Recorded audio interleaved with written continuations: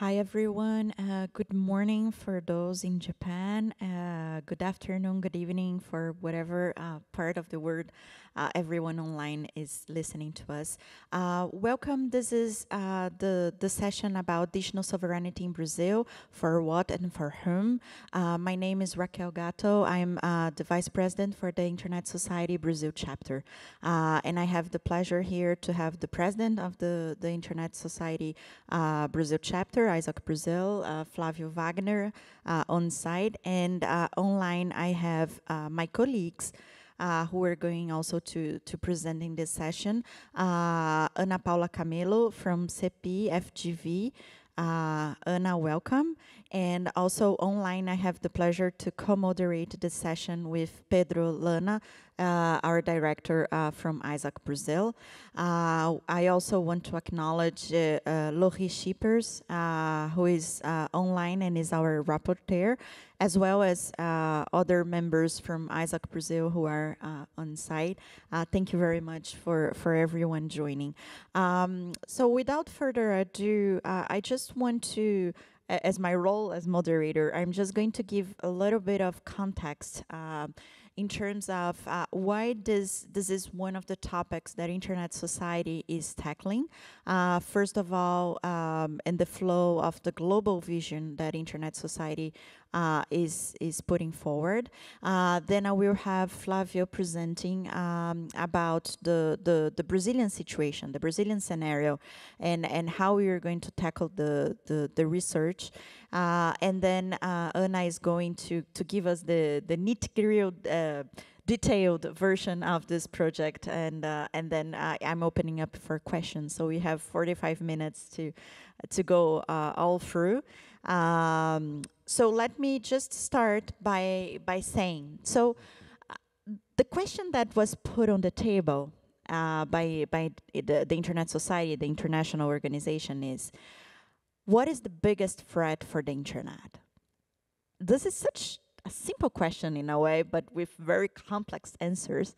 And uh, it's interesting because there was one big concern that arises from the answers uh, that were collected. And the answer is splinternet.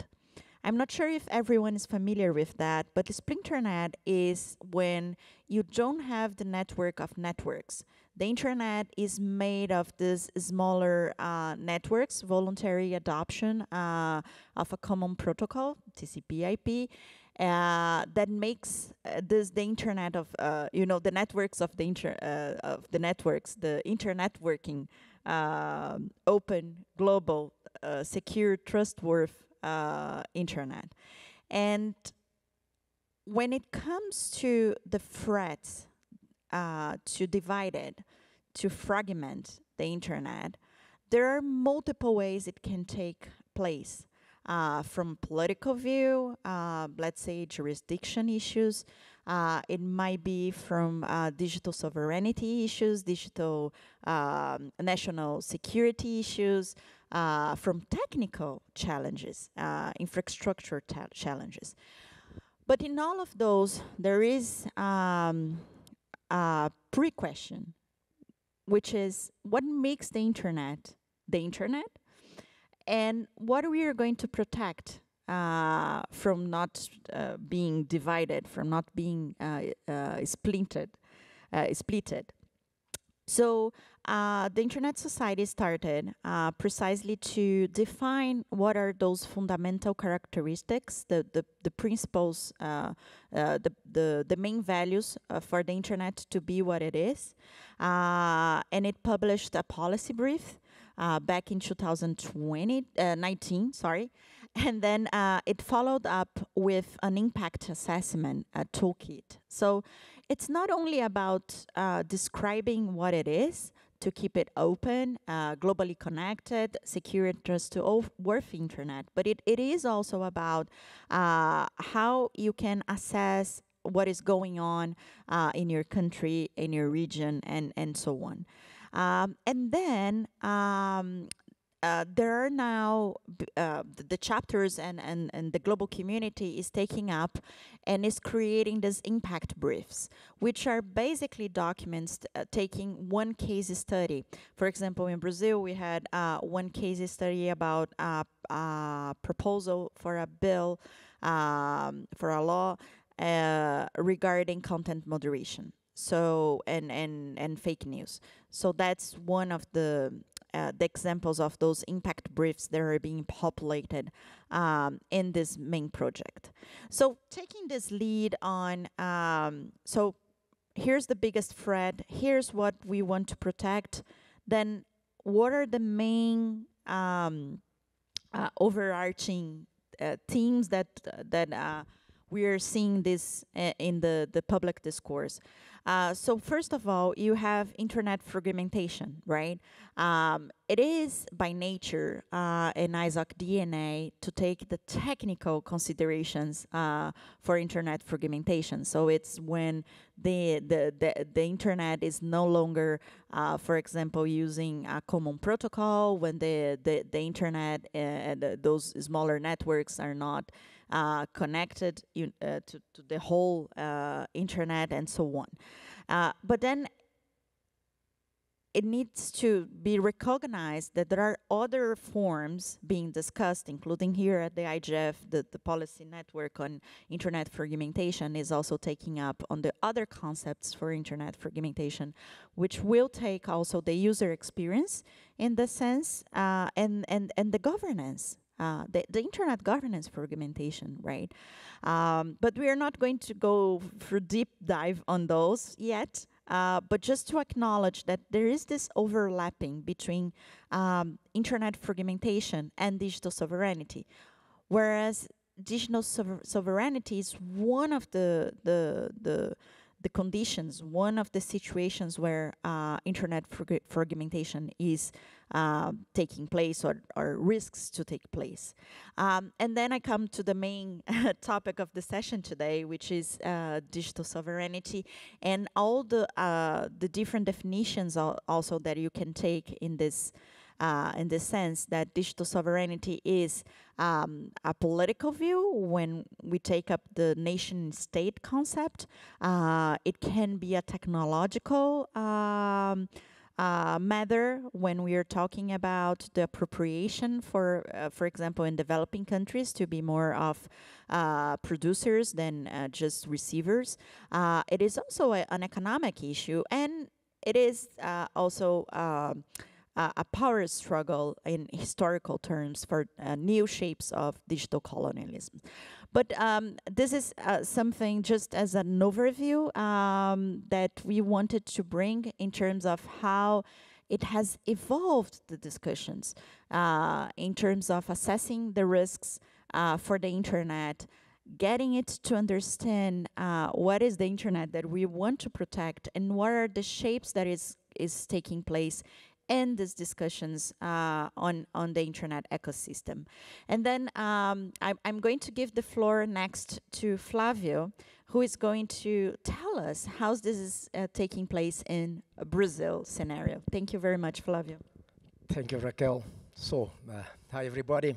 Uh, nice to have you with, with us here this morning in Japan. So, uh, Brazil is a very large country, one of the 10 largest economies in the world, uh, with uh, strong industry in various uh, uh sectors. And also in the digital realm, Brazil has a lot uh, to, to show. And uh, because of this context, Brazil, along the time, has proposed and implemented various local regulations regarding the internet. For instance, the so-called Marco Civil, the Internet Bill of Rights, which was approved in 2014, uh, setting a whole uh, uh, set of uh, uh, rights uh, principles. It's a principle-based law. later on, in 2019, we approved our privacy law, very similar to the GDPR, for instance, in, in the European Union. And these uh, laws are, are very compatible with international standards regarding rights and duties. There are many other discussions going on in Brazil. There are regulatory proposals uh, being discussed in, in the National Congress, such as the, the Artificial Intelligence Bill, uh, the Fake News Bill for, for uh, content moderation. There are many discussions in the country regarding uh, local law on cybersecurity, uh, various discussions on, on dimensions of platform regulation, not only the question of content moderation and, and fighting disinformation, but also economic issues. And, and in there are open discussions, not all, not all uh, already in the form of bills in the Congress, uh, but uh, discussions about data sovereignty. This was a large discussion when we approved the Marco Civil many years ago. Uh, for instance, uh, on data localization. So these are discussions that come again and again in, in the country. And the term digital sovereignty is, is increasingly cited in, in, Brazilian legislative bills and in public documents. Uh, if we take, for instance, uh, current discussions on, on, platform regulation and, and cybersecurity proposals, they include explicitly sovereignty as a strong motivation for uh, the, the proposal of bills. But of course, uh, this, this is a question, it's not only a problem in Brazil, but it's overall that there is no clear or shared definition of what sovereignty means. There are many flavors of sovereignty. You know, for instance, the economic issue, as Raquel uh, has uh, presented before, the technological uh, question, the, the, data sovereignty, and so on. So, uh, which was then our uh, our proposal? The next slide, please. Uh, yeah. We uh, partnered the Brazilian chapter of the Internet Society. We partnered with CEPI, that's a, a research center at uh, the FGV, a very prestigious uh, academic institution in Brazil, to develop a project which is partly funded by Internet Society uh, Foundation. It started uh, about one year ago and it's going on. And the, the, the, main project objectives is to qualify the academic and public policy debate on sovereignty, and starting with an analysis of the Brazilian context, explore all the social technical dimensions of this debate and its technological and legal challenges. And uh, uh, because there are so many flavors of sovereignty and uh, sovereignty is invoked for, for various proposals in the country and elsewhere, uh, we uh, try to identify notions of sovereignty built from uh, various stakeholders' narratives uh, from various sectors, taking into account uh, the legal, social, uh, economic, and political implications, and, and, and trying to connect this uh, analysis of the Brazilian context, connect not only to the local level, but also to the regional and global levels. So, as concrete goals, the project aims to map and discuss first whether and in which sectors the discussion on digital sovereignty has emerged as a trend, which, in second place, which narratives have guided this debate in an attempt to secure public support and, based on which justifications. So why is sovereignty being used as a motivation uh, to, to, to secure public support for various proposals that, that are uh, uh, going on in Brazil. How then in third place, how the relationship between digital sovereignty and the internet takes place in the Brazilian debate. And the final goal is uh, how the creation or change of policies and legislative instruments are linked, uh, linked to these narratives from the various sectors implies local and global challenges, uh, both in technical and political and social terms. As Raquel said, one of the the, the global challenge we have is uh, how we can avoid uh, fragmentation and, uh, and in some sometimes some regulatory proposals or legislative proposals motivated by a fair claim of digital sovereignty may have unintended consequences uh, for the, the, the, fundamental characteristics of the internet. And we will, uh, uh, we are trying to explore those uh, relationships. So now I go to pass to, to Ana, which is online, and we'll continue this presentation. Thank you, Flavio. Thank you, Ra Raquel.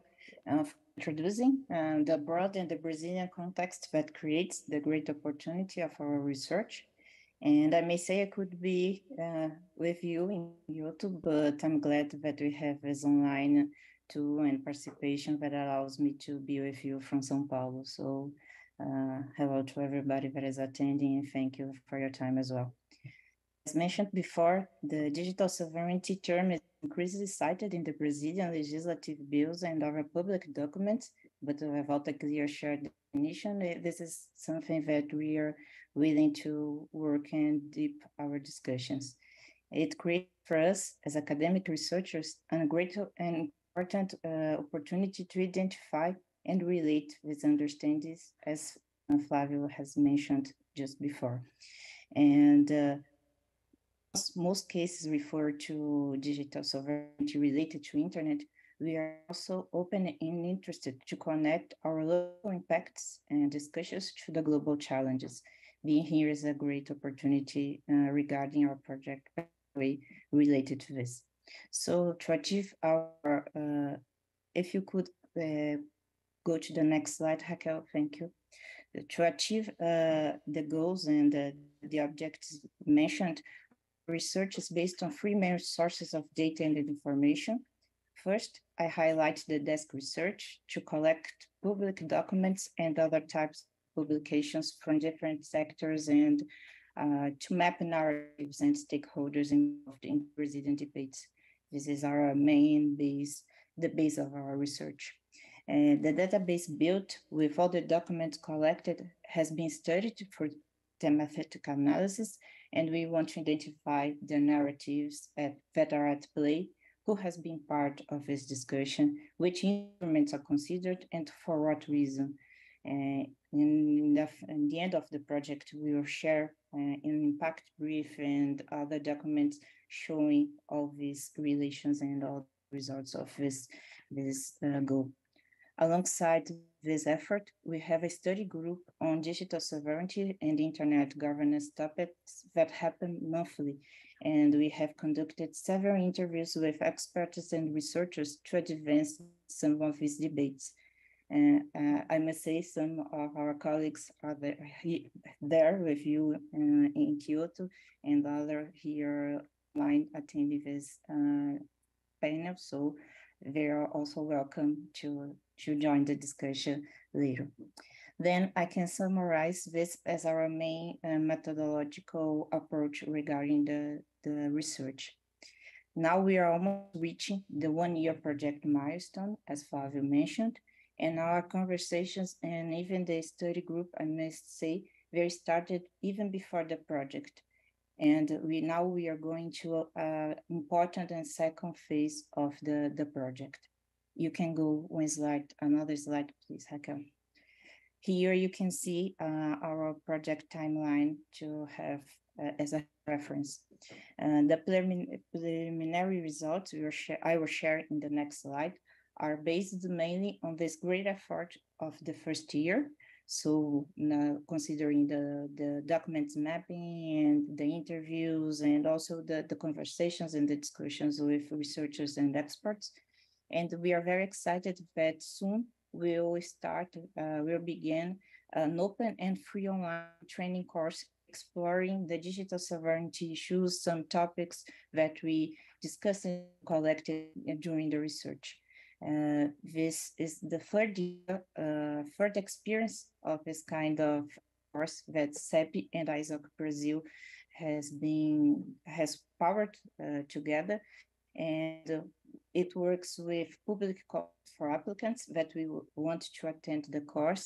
And this, the people, the, the students, the, the participants are selected based on gender, race, sector, professions, regionals, diversity we want, and we uh, try to make a very uh, diverse public during uh, to join the, the initiative with us. We are also uh, working a lot to have public agents and also journalists with us so we can uh, expand and help them to reflect the theme in their daily activities. The course will be based on record lectures, suggested bibliography and discussions activities, and uh, if you have interest in the end, uh, all the content and all the, the, the videos and the material will be shared at ISOC uh, webpage, ISOC Brazil and SEP's webpage. So it will be also a, a open content to everybody that has interest in this in this film. And also focused on community outreach, we'll have uh, webinars, public events, and the impact brief that I have mentioned that will be launched in the end of the projects. If uh, we'll share with you the news, uh, you can follow us and you can uh, know the updates about the project. But uh, I cannot stop and my, my participation here without talking about the uh, main results until now that we have in the, the research. Uh, with the literature, the desk uh, research with the literature review, it brings us um, main challenges regarding the theme. and mainly considering compatibility between traditional sovereignty of states and open and borderless nature of the internet, as Raquel has mentioned. But many of the concepts and the, the impacts discussed from the global, the, the global north do not necessarily apply to the reality of the global south. So it's a very important uh, space for us to discuss our perspectives, our realities, and to connect all these agendas. Our mapping effort is an ongoing task due to the theme relevance nowadays in the country. And by now we have um, more than 2,040, uh, 245 documents gathered and analyzed, uh, as I mentioned, in, regarding our, our methodological approach. And uh, this database contains bills, laws, reports for different instances, and also uh, news articles, media articles that helps us to understand how uh, the, the theme, the digital sovereignty has been uh, an important issue in the Brazilian context.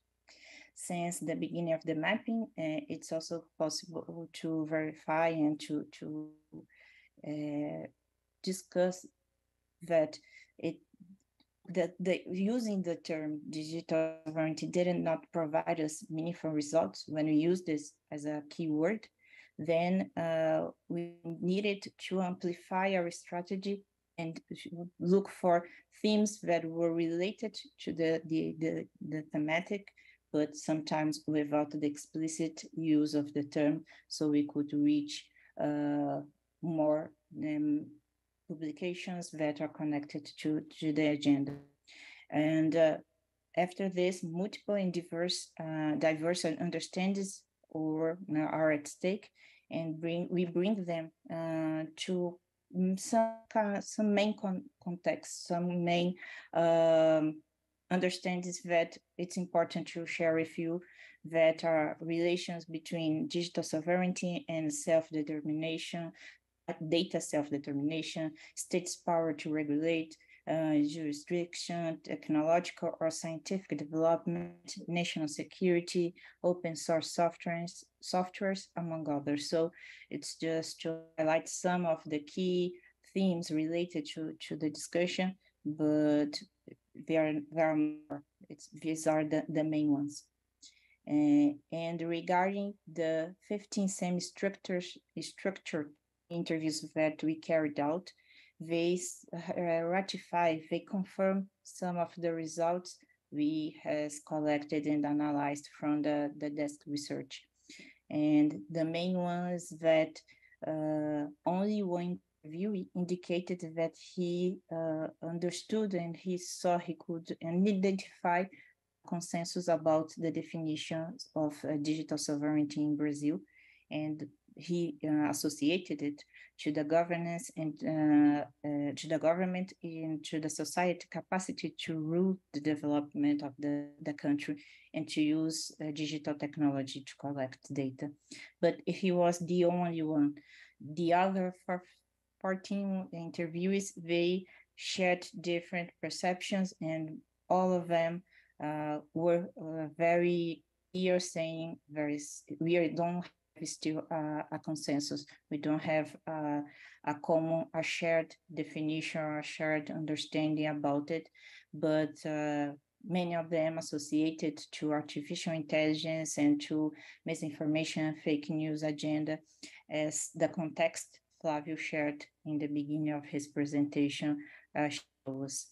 Uh, so the interviews, they also provide us with very different perspectives uh, related to political, legal, and technical lenses, as uh, Raquel mentioned. And uh, it's interesting to say that uh, they related uh, at the same time the digital sovereignty to as an instrument to guarantee rights to citizens in different areas such as consumer and minority groups rights at the same time they are very afraid of power imbalance and somehow of the impact uh, outside the the the, the Brazilian uh, limits so this is something that I I would like to highlight highlight but I'm afraid of my time, so I stop here, uh, reinforcing that I would like to in invite you, and if you have interest, to follow us, CEPI's, uh, CEPI and uh, ISOC Brazil uh, website and social network, so you can be updated about our next steps. And thank you all for your attention. I'll, I'll be happy to answer any question or comments later. Thank you very much, Ana. And uh, you were missed here in Japan, but next time, uh, hopefully, we are all together. Um, so, uh, with that, we finished uh, the the presentations, and uh, the idea, uh, just to recap on this session, is to share the project that is ongoing between ISOC Brazil and and CEP FGV, um, where we are looking into digital sovereignty um, uh, the, the document, the, the, the, documentation and the interviews that are uh, being collected are going to draw um, uh, a course and then uh, materials and documents that we are uh, shaping to understand uh, all the nuances and how digital sovereignty is understood in the country. but it's also grounded into the internet society, the, the, the global um, work that is being done also uh, in relations to internet fragmentation and um, uh, the, the understanding of digital sovereignty uh, worldwide. Uh, and uh, now our intent was not only to share what we are doing, but also to collect inputs on your views and any other uh, work that is uh, underway that could be useful for us to to consider in this in this project. So uh, I'm now opening up the the the microphone. There is a thank you. Uh, Mark is going. Uh, there is a micro two microphones available. Uh, if anyone wants to make questions, please go ahead. Hello, hello. Um, Mark Datysgeld speaking. I'm an internet governance consultant so thank you for sharing the project. I have been following it. It's actually very interesting and deep. One question that I do have is Brazil has a long tradition of not only the bills that we are discussing, but a prior investment in digital sovereignty in the production of uh, technological equipment, in the development of open source code, and in a series of actions that predate um, the current discussion. So in a way, the country was already ahead of the curve like some other countries that preceded this movement.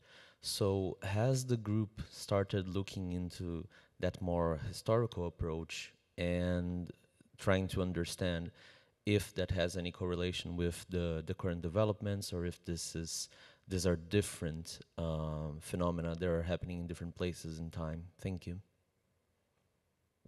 Thank you, Mark. And I'm going to take uh, both questions and then go back to the presenters. Raul? Okay, Raul Echeberría from ALAI. Uh, I have two questions. One is that um, I saw very recently a paper published by um, by Luca Belli from uh, FGV about digital, digital sovereignty in Brazil and India.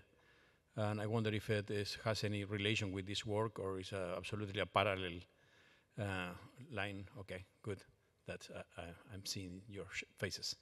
Uh, oh, because the, the, the I, I didn't understand if it was related because the, it's a, like an anticipation of the, of the results of the work that you are doing. And the, the second uh, question is that if uh, if you are considering as uh, one possible or you are questioning the, the, the expression itself, digital sovereignty, that because one thing is trying to find what's the the, the the the, the meaning of the expression, but uh, what about if the if the expression has no if, if doesn't make sense in, at, at all, uh, right? Uh, in fact, every time that I, I read things about uh, digital sovereignty, really what they are trying to speak is a, is a is about uh, digital independence or technological independence, uh, the, the, same way that we speak about energy or foods in uh, in all countries, but uh, it, it doesn't exist such such thing like food sovereignty or or or energy sovereignty because the, there is no any country in the world that is absolutely independent in everything about in relation with everywhere everybody. So the um, just open questions. Thank you. Thank you very much, Raul, and very valuable questions. Uh, I, I, think there is another question, and then we go uh, to Ana, Flavio, and I might contribute. It's, Ale. It's a really short one has to do with how we just asked. It. Ale, can you introduce yourself? Yeah, definitely. I'm Alexandre Costa Barbosa. I'm also uh, joining discussions of the CEPI FGV ISOC uh, Research Group on Digital Sovereignty. I'm a fellow at the Weizenbaum Institute. It's actually I'd like to hear a bit more about, allow me to ask this question, and how it's going to really relate with the, the research conducted by uh, the FGV CTS, because uh, uh, how actually this the research group from CTS is working with digital sovereignty for a long time, right?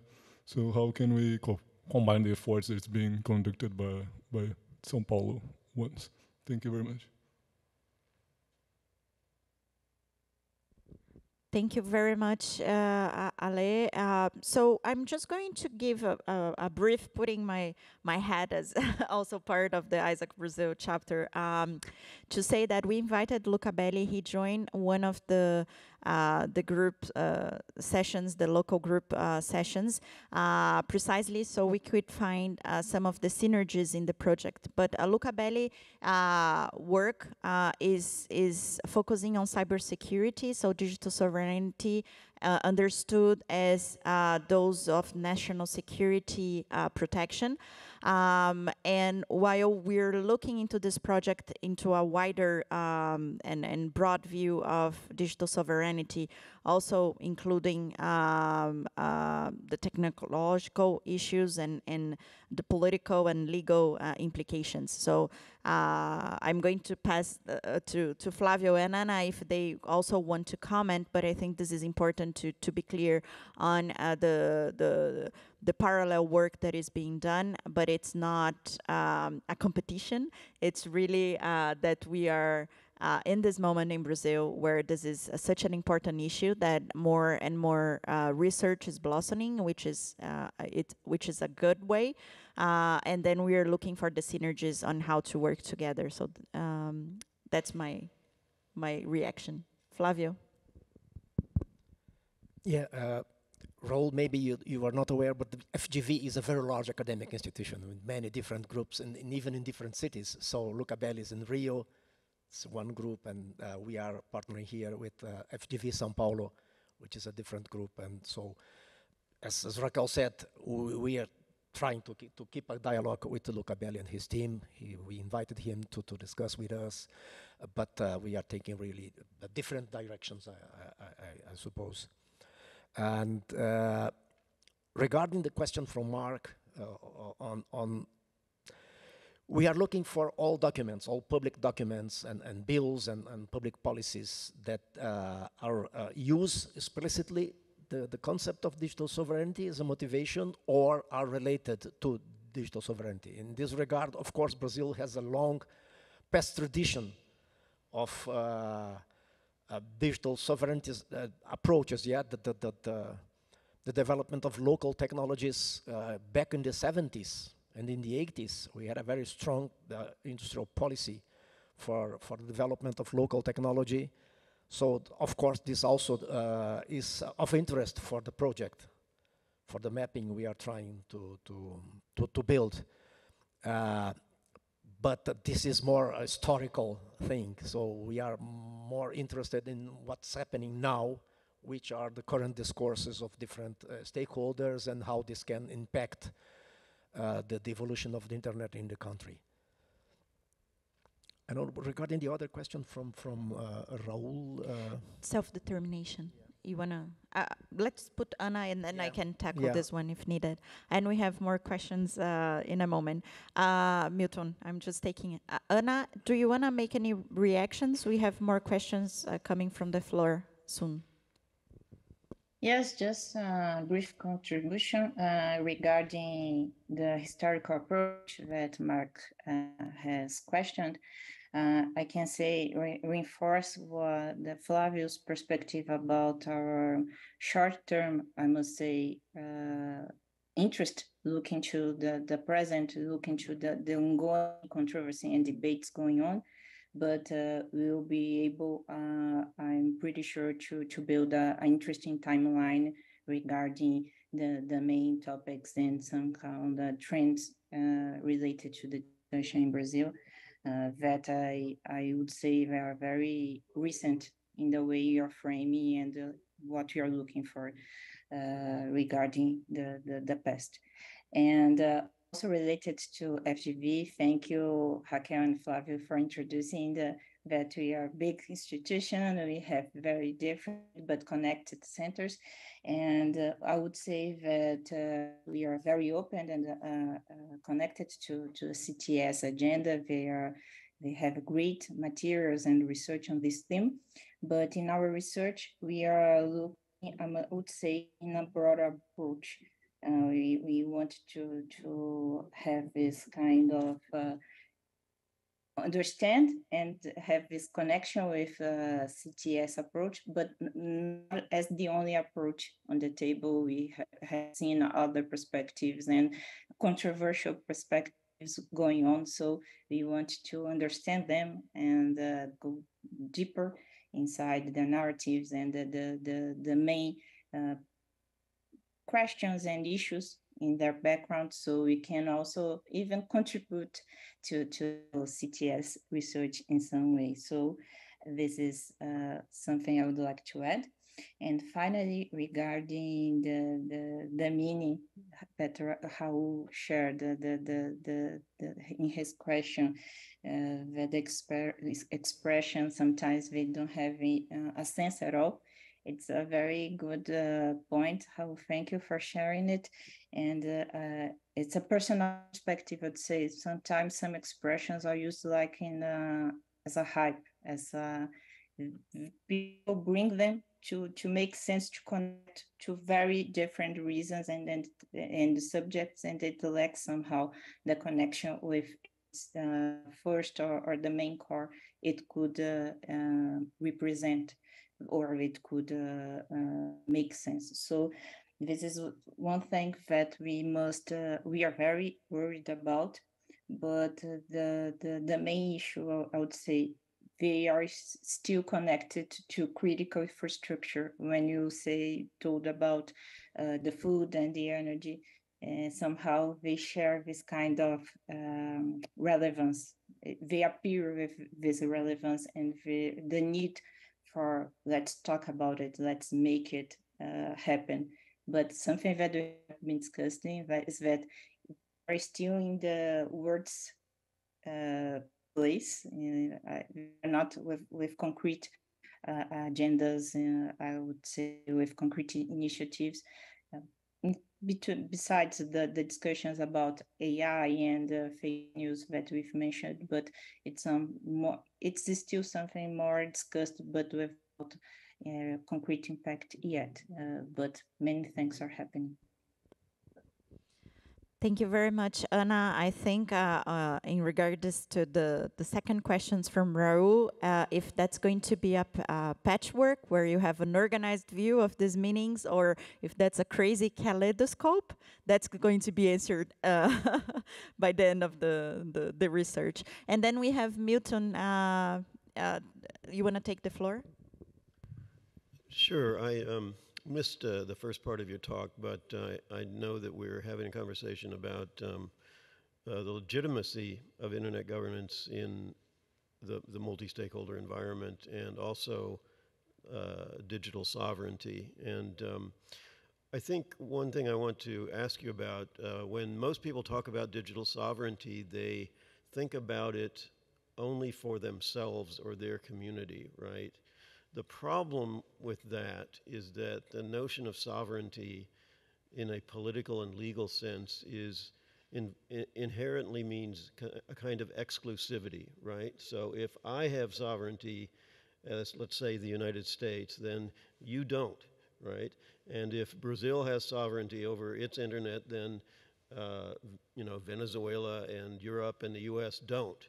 And so uh, I, I would like to encourage you to think about the international relations aspect of sovereignty uh, and, and, not hold it up as some kind of uh, fantasy where everybody can control everything for themselves, but they don't have to worry about anything else. That's just a, a fantasy. And the other thing is, you, you're all involved in ICANN, so you all know that one of the best things we did when we created ICANN was we got it out of the sovereign system, right? We said names and numbers are going to be uh, not governmentally run. And so uh, that's been very successful at making sure that uh, certain aspects of internet uh, coordination are not politicized. So I, I want to make pe sure people understand, you know, the term sovereignty has a, an appeal to people, but it's, it's not a one-way street. It's, it's going to be competing claims of sovereignty, and sometimes those claims can be can kick off power struggles which uh, actually hurt things. That's a very, very uh, good point, Milton. And I just want to make sure that also uh, to, to understand part of the the work we are doing right now, the, the first phase, let's say, is really capturing the photograph. So uh, how it's being used uh, in, in the documents and uh, how people were really seeing sovereignty. So it doesn't mean that this is the understanding that we have, but it's really capturing how it's being used. And uh, this is going to be really important for the next phase as now we, we try to organize this uh, into something that is uh, more uh, of a proposition uh, of what digital sovereignty should be understood. Uh, but I think Flavio wants. Yeah. Uh, maybe, yeah, you, you missed the, the, first part of the presentation here, and then the, the background is exactly the, the, the, the thing you said, Milton, that we also worry about those claims of digital sovereignty possibly hurting some fundamental aspects of the internet.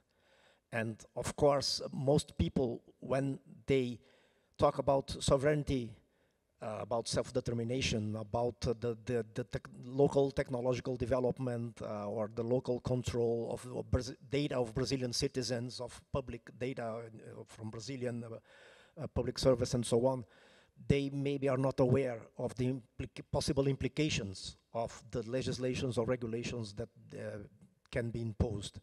And so this is, uh, then we in the project are very much aware of those things and uh, following the line of the, the, Internet Society approach that uh, digital sovereignty, if uh, not well understood and not well implemented, may hurt some fundamental characteristics of the Internet. And uh, we are very much aware of this.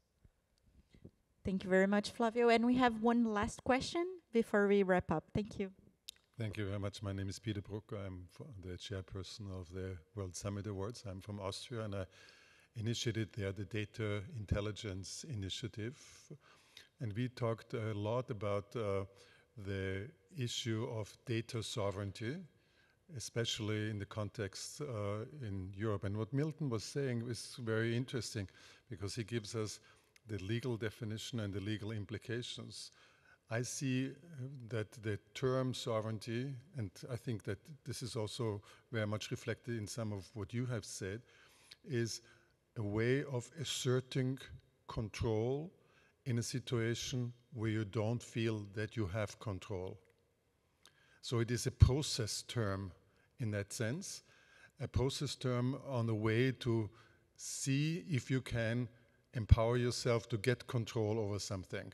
So you're striving for sovereignty. And then I think this what would, would be important then is, is that you are then getting into a situation of negotiation with the others. And I think this is something which we need to really I mean, see. Uh, I'm very interested at the IGF and at, at, all conversations here that we are looking at things which are doable and not fantasy. And I think it's very important that uh, this term sovereignty is seen as a term enabling people to claim control over whatever is happening in the digital sphere on many, many different levels. So I just wanted to add this to Milton's intervention and thank you very much also for your smart conversation and uh, uh, reply.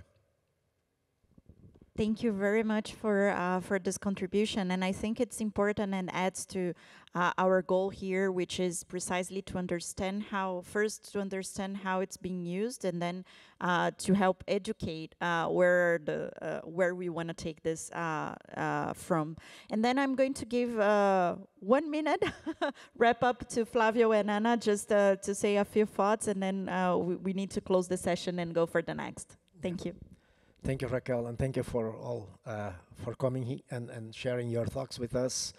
Uh, as I said, we are trying to, to have a photograph of what are the, the, the narratives from the different sectors in this area in Brazil and try to relate this to the, the global uh, discussion on, on sovereignty and, and just uh, also as a mean to educate people in Brazil. So we are collecting uh, information and then we will uh, spread the conclusions of the project to the, the, wider community, not only in Brazil, but in the region, in Latin America and, and globally, uh, so that people understand these different uh, flavors of sovereignty and the legal and, and technological and social implications of uh, those uh, proposals and those definitions, so that we are really trying to contribute to the debate and show that, that the implications of uh, uh, the different definitions of sovereignty and the different implications of uh, public policies or legislations or regulations that are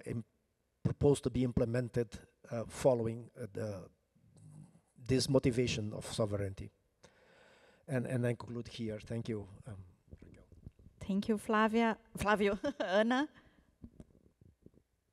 Well, I would like also to thank you all for your contribution. Uh, they were very insightful. And I want to reinforce that uh, at the same time, we want to look at the Brazilian context and uh, the Brazilian debate somehow and their implication.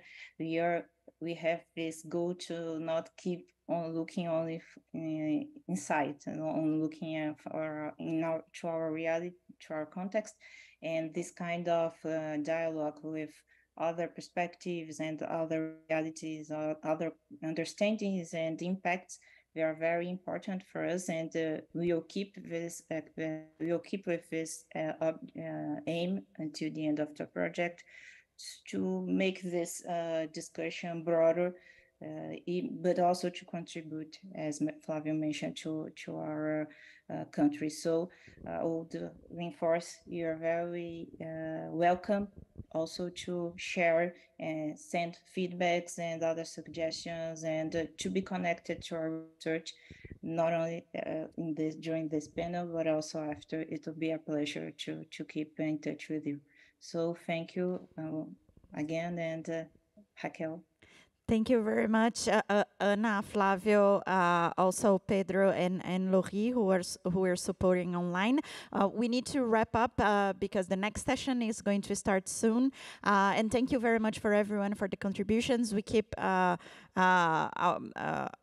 here at the IGF available for any conversations you want to have and, and further inputs for the project. next is legitimacy of the multi-stakeholderism in IG spaces. Thank you very much.